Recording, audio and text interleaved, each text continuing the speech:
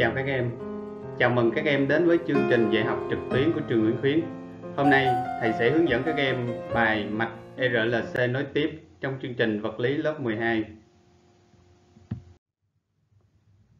Trước khi vào học bài mới, thầy xin nhắc lại một số kiến thức của bài cũ. Ở bài trước, chúng ta học động mạch xoay chiều chỉ có một phần tử. Ở động mạch chỉ có điện trở thuận R.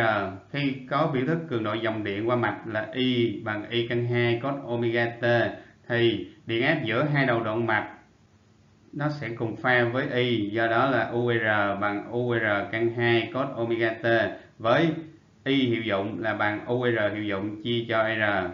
Đối với động mạch chỉ chứa cuộn dây thuần cảm có độ tự cảm L, khi cho cường độ dòng điện qua mạch là y bằng y căn 2 cos omega t, thì điện áp giữa hai đầu động mạch chỉ chứa L, nó sẽ nhanh pha pi chia 2 so với cường độ dòng điện qua mạch do đó nó sẽ có biểu thức như trên. Định luật ôm, y bằng u hiệu dụng L chia cho ZL còn đối với động mạch, chỉ chứa tụ điện điện dung C.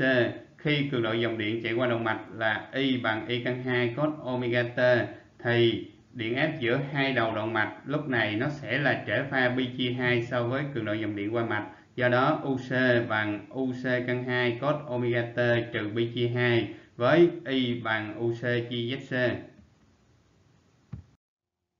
Hôm nay chúng ta sẽ nghiên cứu sâu hơn và tổng quát hơn đó là đoạn mạch xoay chiều RLC nối tiếp Nội dung của bài học hôm nay là chúng ta sẽ khảo sát đoạn mạch xoay chiều RLC nối tiếp gồm có 3 phần. Phần thứ nhất, tổng trở của đoạn mạch, định luật ôm. Phần thứ hai, độ lệch pha của điện áp giữa hai đầu đoạn mạch so với cường độ dòng điện chạy qua đoạn mạch. Và phần 3, khảo sát hiện tượng cộng hưởng điện. Cho động mạch xoay chiều gồm điện trở thuần R, cuộn cảm thuần có độ tự cảm L và tụ điện có điện dung C nối tiếp như hình vẽ. Động mạch AM chỉ có điện trở thuần R, Đoạn mạch MN chỉ có cuộn cảm thuần độ tự cảm L và đoạn mạch NB chỉ có tụ điện điện dung C ghép nối tiếp. Giả sử cường độ dòng điện xoay chiều chạy qua đoạn mạch, có biểu thức Y bằng Y căn 2 cos omega t. Chúng ta viết cái biểu thức điện áp tức thời giữa hai đầu mỗi phần tử RLC lần lượt là, như ở bài trước, chúng ta biết rằng điện áp giữa hai đầu điện trở thuần R nó cùng pha với cường độ dòng điện Y. Do đó UR sẽ có biểu thức như sau tương tự điện áp giữa hai đầu cuộn cảm thuần L nó nhanh pha hơn pi/2 so với cường độ dòng điện xoay chiều qua mạch do đó biểu thức UL nó sẽ là bằng U hiệu dụng L căn 2 cos omega t cộng pi chia 2. Và tương tự, điện áp tức thời giữa hai đầu tụ điện C nó sẽ có biểu thức như sau. UC bằng U hiệu dụng C căn 2 cos omega t trừ pi chia 2 vì UC nó trễ pha hơn pi chia 2 so với cường độ dòng điện Y. Khi đó, biểu thức điện áp tức thời giữa hai đầu đoạn mạch AB nó sẽ là bằng tổng điện áp tức thời hai đầu mỗi phần tử U sẽ là bằng UR cộng UL cộng UC nó sẽ có dạng là một cái dao động điều hòa U bằng U hiệu dụng căn 2 cos omega t cộng phi với phi bằng phi U trừ phi Y được gọi là độ lệch pha của điện áp giữa hai đầu động mạch và cường độ dòng điện chạy qua động mạch đó. Tiếp theo, thầy sẽ hướng dẫn các em sử dụng phương pháp giảng đồ vector để tìm mối liên hệ giữa điện áp hiệu dụng giữa hai đầu đoạn mạch, độ lệch pha giữa U và Y với các đại lượng trong mạch. Đầu tiên, chúng ta biểu diễn các điện áp tức thời bằng các vector quay. Điện áp giữa hai đầu điện trở thuận R biểu diễn bởi vector UR. Điện áp giữa hai đầu cuộn cảm biểu diễn bởi vector UL và điện áp giữa hai đầu tụ điện biểu diễn bởi vector UC. Chúng ta biểu diễn cường độ dòng điện Y là cái trục nằm ngang, vector UR cùng pha với Y. Vector UL thẳng đứng hướng lên, vector UC thẳng đứng hướng xuống. Ở đây giả sử UL lớn hơn UC tức là ZL lớn hơn ZC. Khi đó điện áp tức thời giữa hai đầu đoạn mạch AB U sẽ được biểu diễn bởi vector U là vector tổng của vector UR, UL và UC.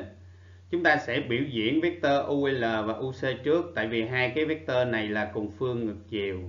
Ra là ULC. Sau đó chúng ta dùng quy tắc hình bình hành để biểu diễn vector U. Khi đó, góc hợp bởi vector U và vector Y, nó chính là độ lệch pha phi giữa điện áp giữa hai đầu động mạch và cường độ dòng điện chạy qua động mạch. Phần thứ nhất, tổng trở của đoạn mạch định luật ôm. Từ cái giảng đồ vector trong tam giác vuông O UR U theo định lý Pythagore chúng ta sẽ có U bình bằng UR bình cộng UL trừ UC bình. Sau đó chúng ta thay UR bằng Y nhân R, UL bằng Y nhân ZL và UC là bằng Y nhân ZC. Đồng thời biến đổi cuối cùng chúng ta ra được cái biểu thức U bằng Y nhân với căn của R bình cộng ZL trừ ZC bình. Khi đó ta đặt Z bằng căn của R bình cộng ZL trừ ZC tất cả bình và gọi là tổng trở của động mạch. Định luật ôm cho động mạch RLC nối tiếp là Y hiệu dụng bằng U hiệu dụng chia cho Z. Phần thứ hai, độ lệch pha của điện áp giữa hai đầu động mạch so với cường độ dòng điện qua mạch. Từ cái giảng đồ vector, chúng ta rút ra được là tan phi bằng UL trừ UC chia UR và cũng bằng ZL trừ ZC chia R. Khi đó, chúng ta có kết luận như sau. Điện áp giữa hai đầu động mạch RLC biến thiên điều hòa cùng tần số và lệch pha góc phi so với cường độ dòng điện chạy qua mạch. Nếu ZL lớn hơn ZC, khi đó phi mang giá trị dương, lúc này U nó sẽ sớm pha hơn hoặc là nhanh pha hơn so với Y. Trong mạch lúc này có tính cảm kháng. Nếu ZL nhỏ hơn ZC thì phi mang giá trị âm, khi đó U nó sẽ trễ pha hơn hoặc là chậm pha hơn so với Y và trong mạch lúc này sẽ có tính dung kháng. Nếu ZL bằng ZC, khi đó phi bằng 0 và lúc này U và Y nó sẽ là cùng pha. Và các em lưu ý rằng trong cái mạch RLC nối tiếp thì độ lệch pha phi giữa U và Y nó nằm từ trừ pi chia 2 cho đến pi chia 2. Phần thứ ba, hiện tượng cộng hưởng điện. Hiện tượng cộng hưởng điện là gì? Và khi nào trong mạch xảy ra hiện tượng cộng hưởng điện? Chúng ta cùng tìm hiểu nhé. Cho mạch điện xoay chiều RLC nối tiếp. Giả sử trong mạch này có điện áp hiệu dụng U và giá trị của điện trở thuần R không đổi. Khi đó, giá trị hiệu dụng của dòng điện Y bằng U chia Z chúng ta thay Z là bằng căn của R bình cộng ZL trừ ZC bình. Khi ZL bằng ZC, lúc này giá trị hiệu dụng của dòng điện đạt giá trị cực đại bằng U chia R.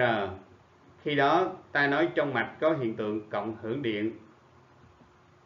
Điều kiện để trong mạch có hiện tượng cộng hưởng điện là mạch điện có LC hoặc omega thay đổi để cho ZL bằng ZC, tức là omega bình bằng 1 chia LC.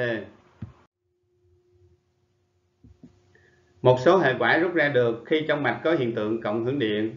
Thứ nhất, độ lệch pha giữa U và Y là phi bằng 0.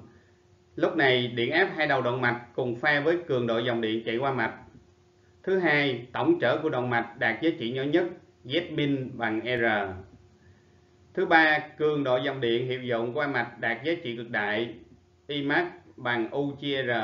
Thứ tư, điện áp hiệu dụng giữa hai đầu cuộn cảm thuần và giữa hai đầu tụ điện có giá trị bằng nhau. Điện áp hiệu dụng giữa hai đầu điện trở R đạt giá trị cực đại và bằng điện áp giữa hai đầu động mạch. Thứ năm, điện áp tức thời, giữa hai đầu cuộn cảm thuần và giữa hai đầu tụ điện. Đối nhau, tức là UL bằng trừ UC điện áp tức thời giữa hai đầu điện trở thuần R bằng điện áp tức thời giữa hai đầu động mạch UR bằng U. Và điện áp tức thời giữa hai đầu động mạch, lúc này nó sẽ vuông pha với điện áp tức thời giữa hai đầu cuộn cảm thuần UL và cũng vuông pha với điện áp tức thời giữa hai đầu tụ điện UC. Bài học của chúng ta hôm nay đến đây là kết thúc. Thầy hy vọng rằng với kiến thức học được hôm nay, nó sẽ giúp ích các em được nhiều trong quá trình học tập và rèn luyện của năm học cuối cấp này. Xin chào tạm biệt và hẹn gặp lại trong các bài học sau.